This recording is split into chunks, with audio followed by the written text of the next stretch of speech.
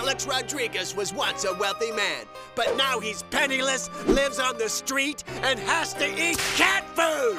Okay, it's not quite that bad, but he would like to pay his ex-wife less Skrilla, yo! So Alex and Cynthia, his ex-wife, have two daughters together, and Alex Rodriguez was making a whole heck of a lot of money playing for the Yankees, somewhere around $30 million a year, and because of that, he was giving Cynthia $115,000 a month Tax-free. Thing is, A-Rod's retired now. Which means he's only earning a paltry three million bucks a year! Dear God, he's practically living in his car! No wonder he wants to stop paying spousal support. He says, I don't have to pay, I shouldn't have to pay spousal support anymore because she is now more than capable of living on her own well. And I want to pay child support, but I want to double it to 20,000. Wow, he really loves his kids. But what about his ex-wife? Go get a job. World's biggest feminist, everybody.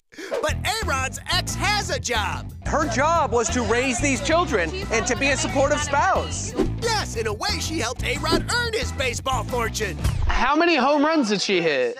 We didn't mean literally, you incredible moron. So, good luck, A-Rod. You'll never have to eat cat food. And if you do, it'll be the good stuff like Sheba or Fancy Feast.